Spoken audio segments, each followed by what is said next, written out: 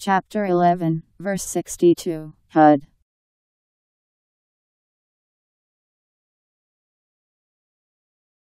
They said, O Salih, thou hast been among us hitherto as that wherein our hope was placed. Dost thou ask us not to worship what our fathers worship? Lo, we verily are in grave doubt concerning that to which thou callest us.